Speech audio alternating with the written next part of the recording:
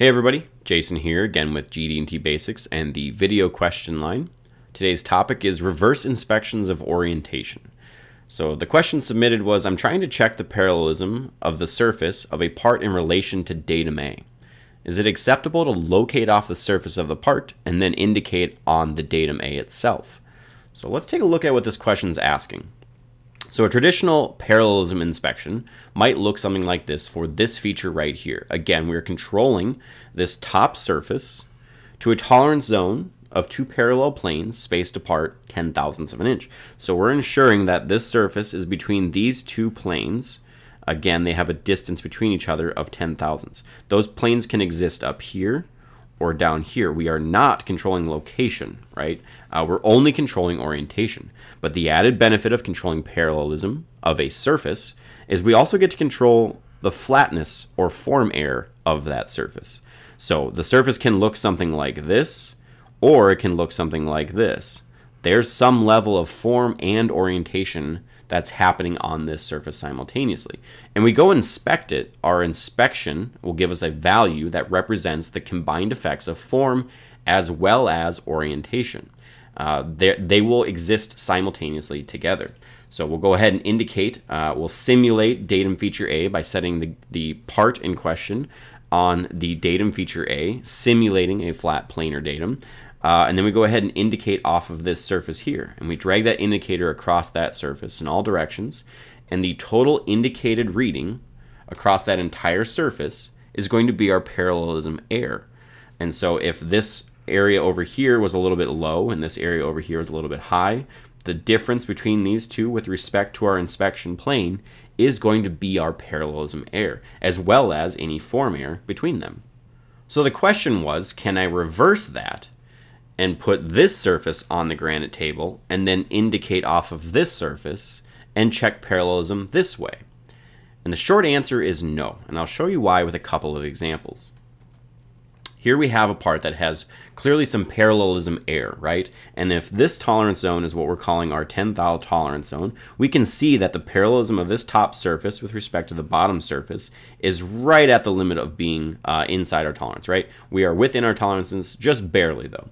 Now, if I rotate this part, right, and I can move the tolerance zone up to capture the surface, uh, what you'll notice though is now the orientation and then now the size or how far this surface goes from here to here is going to allow or show more orientation error than the smaller surface did. We're trying to contain more surface inside this tolerance zone than we did when we were trying to contain this surface.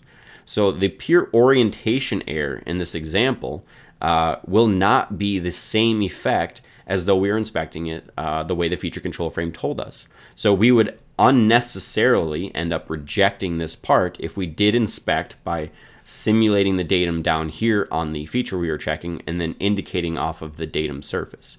Uh, this would tell us that we have more parallelism error than we actually did on this surface with respect to this surface. So you can see here, this is one instance where we would definitely um, not want to inspect this part because we would be rejecting a good part. A little bit more realistic, as you can see that we are controlling the form as well. Uh, we might have good uh, orientation error. So again, simulating datum A down here. This is datum feature A. Um, something else will control the flatness of datum feature A, hopefully. Um, but we are simulating datum A off of its high points. And then we go ahead and check the lowest to highest points, and as long as the form and orientation of that top surface, or the total indicator reading as we drag an indicator across that top surface, is less than our tolerance value, this is good parallelism. But again, as per the question, if I were to simulate off the top surface and then indicate on the datum surface, we would see that um, from this point to this point, we might have good orientation error, but there's a form error that would actually indicate our, our highest to lowest would be from here to here. And that would give us a uh, false reading saying this is a bad part, when in reality, I just showed you in the previous slide, this was actually a good orientation.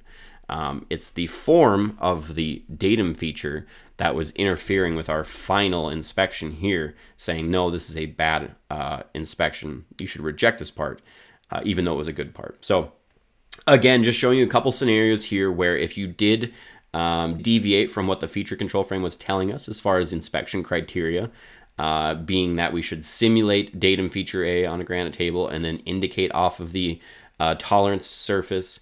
Uh, if we deviate from that, we will get incorrect results. So short answer to the question is no, you cannot uh, reverse the inspection. You cannot um, locate off the surface of the part and then indicate off datum A. This is not the same uh, inspection. It'll give you false results. So hopefully that helps clarify things for you. And thanks again for tuning in. Our goal is to be your best source for GD&T information online.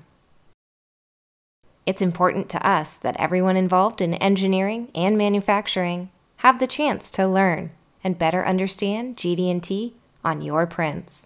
We have many free resources to help you get started on your learning journey. Subscribe to our GD&T community using the link in the description below or visit our website. Test your knowledge with our GD&T and print reading quizzes. Download helpful charts and access articles written by our training experts.